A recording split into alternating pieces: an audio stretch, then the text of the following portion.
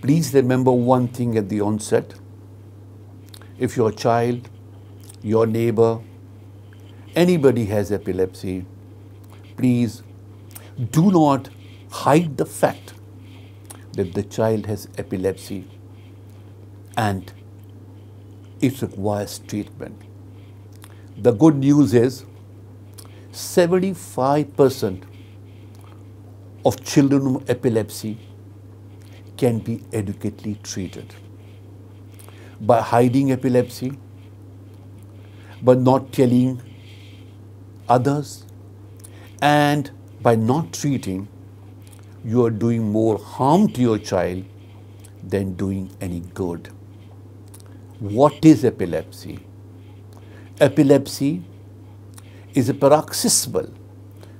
What I mean by paroxysmal is a disorder which comes and goes where there are movements of all four limbs, rolling up of eyeballs, froth in the mouth, tongue bite, and incontinence of urine is a typical epileptic seizure.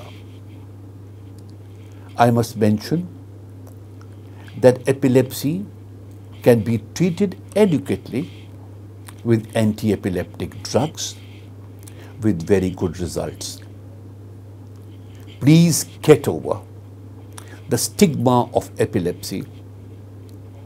Please get over the myths and evil of epilepsy by treating the epilepsy in the correct manner.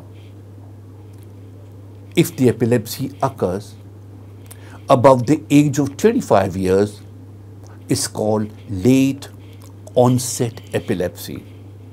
And this epilepsy needs to be treated and investigated to rule out the underlying cause of this.